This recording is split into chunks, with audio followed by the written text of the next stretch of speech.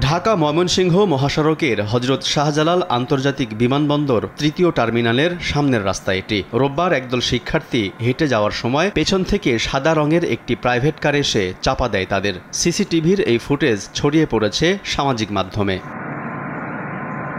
এ ঘটনায় দুই শিক্ষার্থীর পা ভেঙে গেছে। আরেকজন আঘাত পেয়েছেন মাথায়। বিমানবন্দর থানার ভারপ্রাপ্ত কর্মকর্তা জানান, দুর্ঘটনার পর প্রাইভেট কার ফেলেই পালিয়েছেন চালক। পথচারী যে ছিল সাতজন ওকে আঘাত করে তিনজন একটু গুরুতর আহত হয়েছে।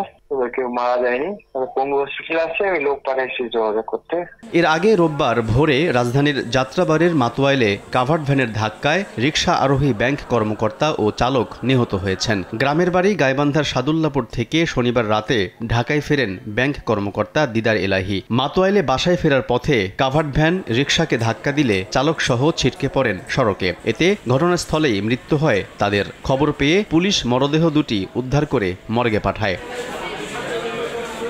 ঘটনার পর কাভার্ড ভ্যান রেখে পালিয়েছে চালক। নিহত ব্যাংক কর্মকর্তা এসবিএসি ব্যাংকের প্রধান শাখায় অ্যাসিস্ট্যান্ট অফিসার হিসেবে কর্মরত ছিলেন। আলতাফ হোসাইন, সময় সংবাদ, ঢাকা।